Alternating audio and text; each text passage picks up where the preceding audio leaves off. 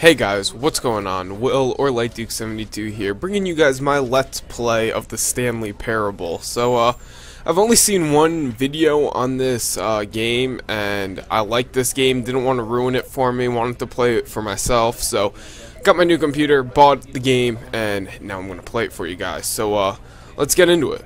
Let's begin this. The end is never the end, is never the end. It's okay. Loading. And loading. There we go. This is the story of a man named Stanley. Stanley worked for a company in a big building where he was employee number 427.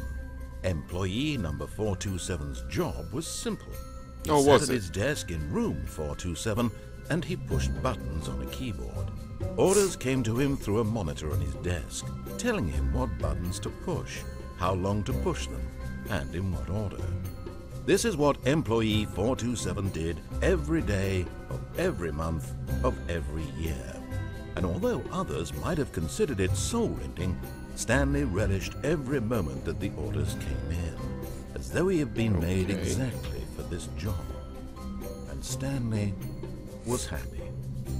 Oh, was he? Was he happy? And then one day, something very peculiar happened. Something that would forever change Stanley. Something he would never quite forget. He had been at his desk for nearly an hour when he realized that not one single order had arrived on the monitor for him to follow. No one had showed up to give him instructions, call a meeting, or even say hi. Never in all his years at the company had this happened. This complete isolation. Something was very clearly wrong. Shocked, frozen solid, Stanley found himself unable to move for the longest time. But as he came to his wits and regained his senses, he got up from his desk and stepped out of his office.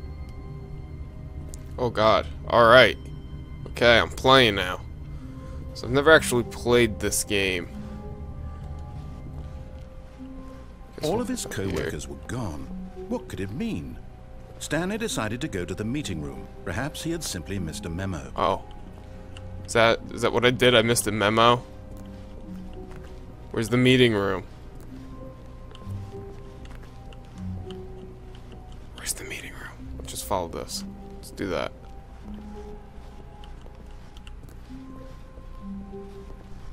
Uh, When Stanley came to a set of two open doors, he entered the door on his left.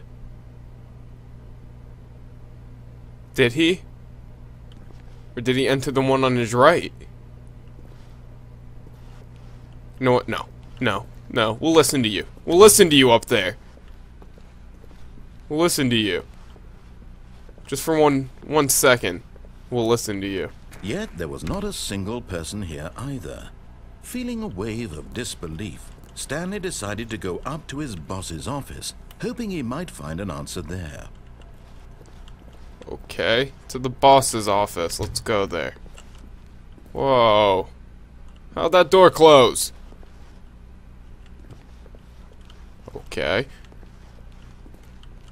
Coming to a staircase, Stanley walked upstairs to his boss's office. I'm not listening to you. I'm not gonna listen to you this time. Oh god, maybe I should have listened to him.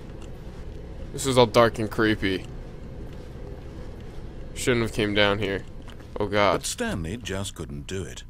He considered the possibility of facing his boss, admitting he had left his post during work hours. He might be fired for that.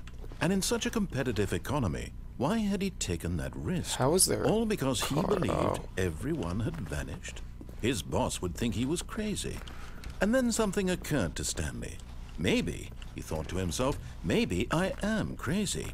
All of my coworkers blinking mysteriously out of Oh, existence in am a I single crazy? moment for no Guy? reason at all. None of it made any logical sense. And as Stanley pondered this, he began to make other strange observations. For example, why couldn't he see his feet Uh, when he looked down? We're just in here. doors close automatically behind him where Yeah, I was wondering that before. and for that matter, these rooms were starting to look pretty familiar. Yes, they be are. repeating. No, Stanley said to himself, this is all too strange. This can't be real. At last, he came to the conclusion that had been on the tip of his tongue. What the he fuck? just hadn't found the words for it. I'm dreaming! He yelled. This is all a dream. I don't think I'm dreaming. Felt to have finally found an answer, an explanation. His co-workers weren't actually gone. He wasn't going to lose his job. He wasn't crazy after all. And he thought to himself, I suppose I'll wake up soon. I'll have to go back to What my you- boring real-life job pushing buttons. I may as well enjoy this while I'm still lucid. so, he imagined himself flying and began to gently float above the ground. Oh my god. Then he imagined himself soaring through space on a magical starfield, and it too appeared. It was so much fun, and Stanley marveled that he had still not woken up. How was he remaining so lucid? And then perhaps the strangest question of them all entered Stanley's head. One he was amazed he hadn't asked himself sooner. Why is there a voice in my head Yes! everything that I'm doing and thinking? Now the voice was describing Why is that? considered by Stanley, who found it particularly strange. I'm dreaming about a voice describing me, thinking about how it's describing my thoughts, he thought. What And the while he thought it all very odd and wondered if this voice spoke to all people in their dreams. This game. The truth was that, of course, this was not a dream. How could it be? Was Stanley simply deceiving himself? Believing that if he's asleep, he doesn't have to take responsibility for Why are you doing this to me? Stanley is as awake right now as he's ever been in his life. He doesn't Now, look it. the voice speak these words was quite a shock to Stanley.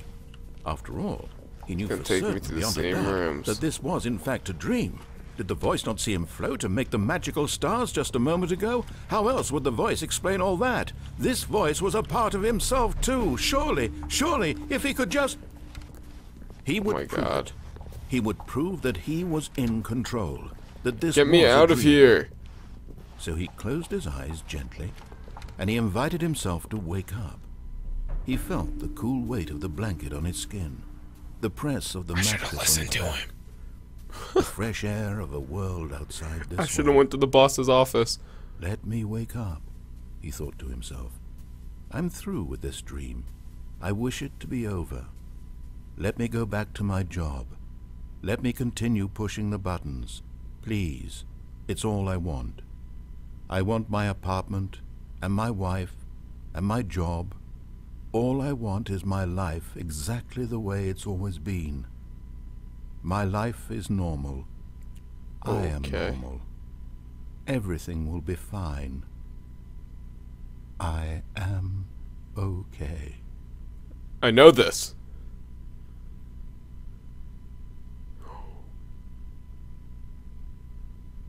Stanley began screaming.